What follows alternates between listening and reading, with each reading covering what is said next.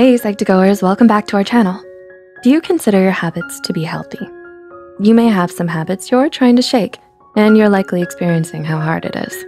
Habits can drastically alter our lifestyle and mood. So while we should always aim to minimize our bad habits, it might be a good idea to focus on developing some healthy ones first. Maybe you felt depressed or lost lately, or maybe this is something you've been struggling with for a while. But by developing some healthy habits, you can alter your mood for the better. In fact, you're already taking a step towards happiness right now by learning which habits to practice with this video. So to help you develop some happy habits, here are nine habits that keep you mentally happy. Number one, practice gratitude. Are you grateful for what you have? How often do you express it? If your answer is mm, not often, then you should reconsider practicing gratitude. Why? One two-part study found that practicing gratitude can have a strong impact on our feelings of hope and happiness, meaning it's time to act like it's Thanksgiving dinner, every meal. The researchers from Hope College found that gratitude predicts hope and happiness. So if we express how grateful we are more often, it may lead to feelings of happiness. Number two, give compliments. Did you know that paying someone a compliment can really pay off? In regards to your mood anyway. In one study, participants were randomly assigned to perform acts of kindness, acts of novelty, or no act every day for 10 days. Researchers measured their satisfaction with life before the experiment was conducted and then after. Performing acts of kindness or novelty resulted in an increase in overall life satisfaction. So go ahead and pay it forward. A compliment never hurt anyone. In fact, it'll likely make you both happy. Number three, experience, and go with the flow. Have you ever heard the expression, go with the flow? Well, we may just have to take that advice, just in a different way than intended. Happy people often experience what is referred to as flow. Flow is a state where one is fully involved and absorbed in the present moment. In this state, one possesses intense concentration, a loss of self-consciousness, and a sense of timelessness. Sounds pretty happy, right? It may not be so easy to go with the flow if you don't know what drives you to that emotional state. So one step towards experiencing the flow more often, find out what it is that gets you there. Is it your passion that gets you there? Hanging out with your best friend? Playing your favorite sport? Whatever it is, it's not a bad idea to do it more often.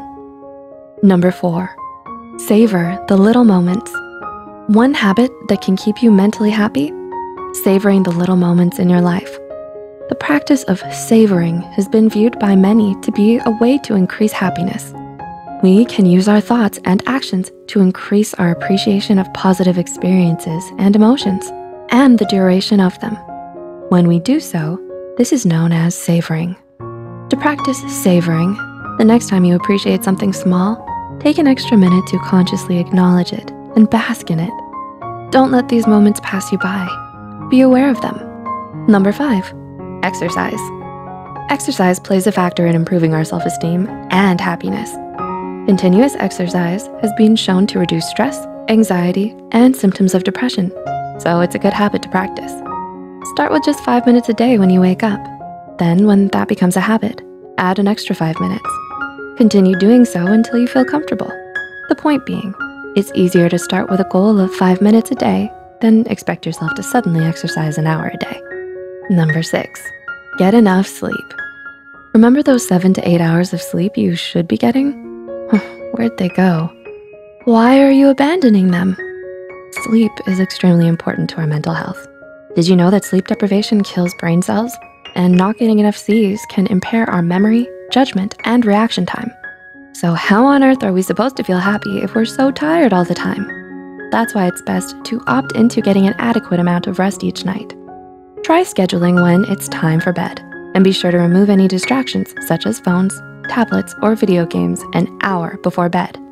This will give your mind a chance to wind down. Number seven, choose foods that boost your mood. Another habit to implement? Eat healthy foods that will make you happy in the long run. A happy food to add to your diet? Carbohydrates. Carbohydrates release serotonin, which is the key hormone responsible for stabilizing our mood and feelings of happiness. Ditch deep fried foods, as those have been known to make you feel down. Instead, opt in for high protein foods such as lean meat, poultry, and dairy. High protein foods release norepinephrine and dopamine, which improves our energy and focus. Number eight, work towards meaningful goals. Do you often find it hard to get up in the morning? Are you unmotivated due to a lack of goals? One way to improve happiness is to set meaningful goals. If we feel our life lacks a purpose, we may fall into a depressive state. Create motivation to keep going by pursuing something that you're passionate about. Then, set several small goals as starts to getting there. It's something to look forward to, focused on something we love. And number nine, experience nature. According to one study, spending just 30 minutes or more per week outside in nature can help lower your blood pressure and depression. Another study found taking a walk outside in a green environment increases our mood and decreases how many negative thoughts we have. Make sure to take your walks outside in nature though, as those in the study who walked down city streets didn't show any benefits as compared to those who walked in a natural environment. Looks like you'll be adding a nature walk to your habits list. Ooh, and you'll get in your five minutes of exercise too. So, do you have any of these habits? Which ones do you want to have? Let us know in the comments down below. If you found this video helpful, don't forget to click the like button and share this video with someone who may need it. Subscribe to Psych2Go and hit the notification bell icon for more content like this. And as always, thanks for watching.